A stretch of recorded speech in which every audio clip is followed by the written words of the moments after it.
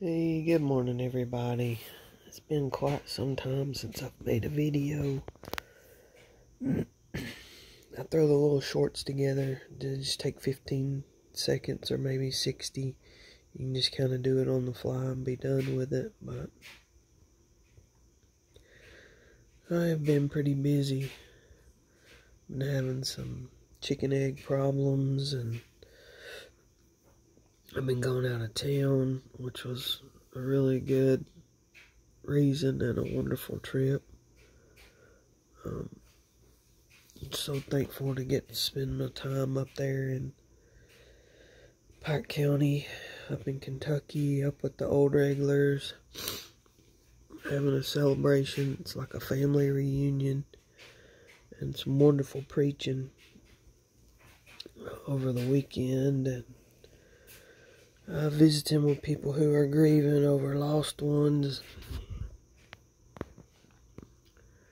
Just really kind of put me in a, well, sorry, in a little bit of a funk there for a few days.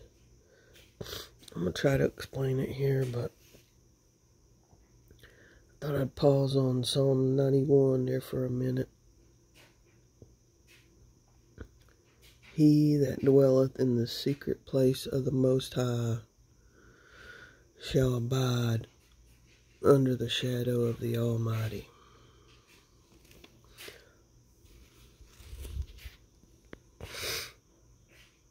I think,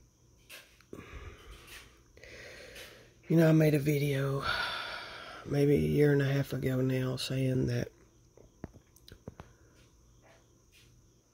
Believe we're, you know, really entering the perilous times in the great conflagration, I called it. Where stories of despair and violence and just maniacal and just utter evil are just stacking up. And boy, when I said that a year and a half ago, I couldn't have really imagined how far along we would be at this point. But I mean, we see it every day more and more stories of just, you know, horrible violence and different things and you know, a lot of stuff's been going on in Kentucky here recently and Ohio, and I made a little clip last night. Like, you know, what are they targeting states now with their um, nefarious plans? And it's truly the devil at work. You know, a preacher said something this weekend. He's been a preacher I've known my whole entire life. He was one of my dad's good good friends and uh I don't know if you agree with this doctrine or not, but you know, he says he said that we are in the little season. That de- the devil is loose. And boy, that has really stuck my nose into the book of Revelations, trying to once again figure it out. Things that I don't need to figure out every single little detail to, but there I go. I'm always drawn to it. Like, what can this mean? Like, how how does this fit into the timeline? I don't want to put names on things like what they call it, amillennial or post millennial or you know, I don't want to label doctrine, you know, like they have done, but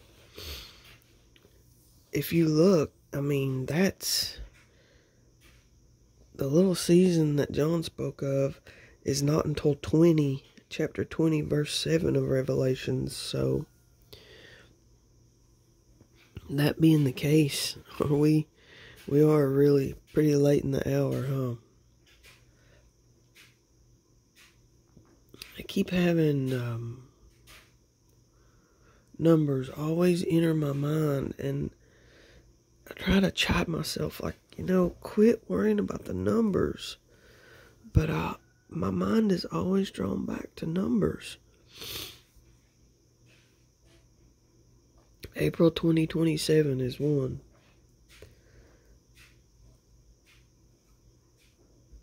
April 2027 is definitely one. But anyway, I just wanted to try to, you know,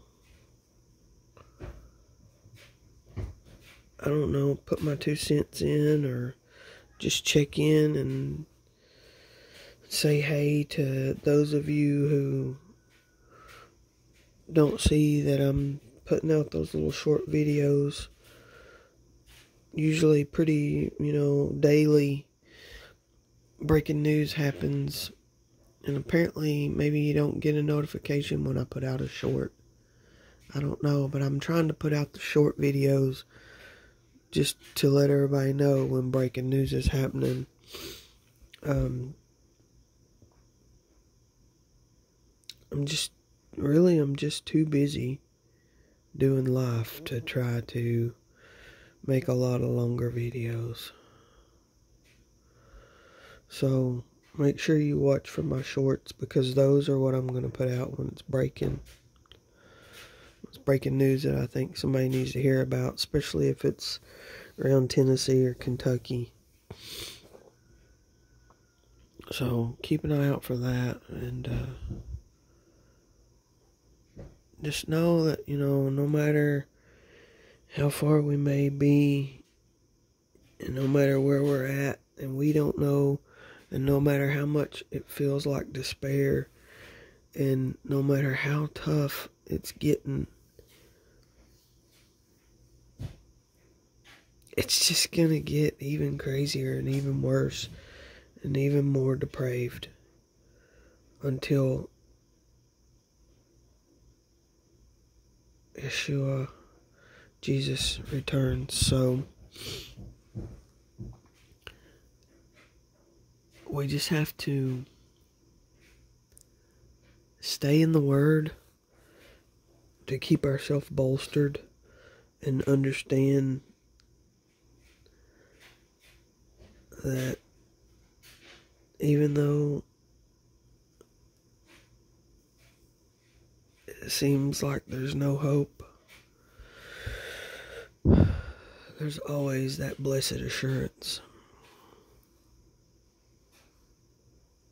We just have to be tough enough and be resilient enough, but most importantly, have enough faith to know that we're going to be in that good place one of these days.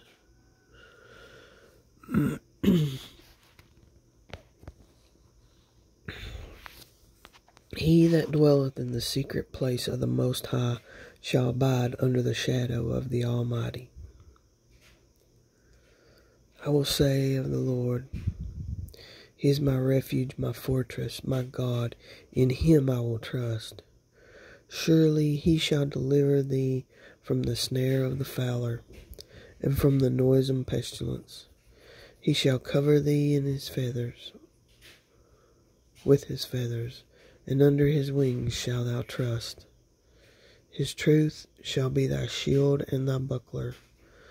Thou shalt not be afraid for the terror by night, nor for the arrow that flieth by day, nor for the pestilence that walketh in darkness, nor for the destruction that wasteth at noonday.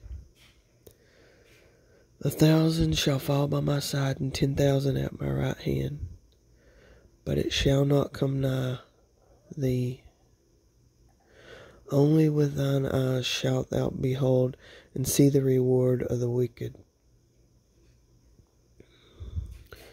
Because thou hast made the Lord, which is my refuge, even the Most High, thy habitation, there shall no evil befall thee, neither shall any plague come nigh of thy dwelling.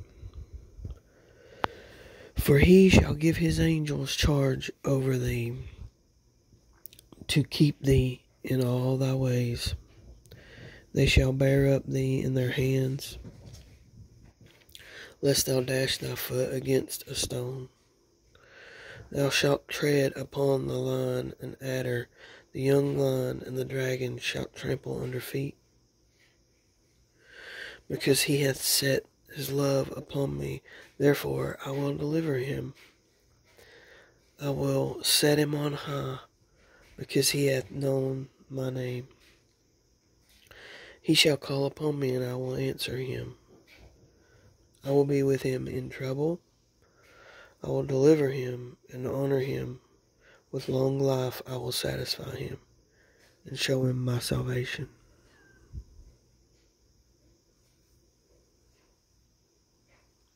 Love.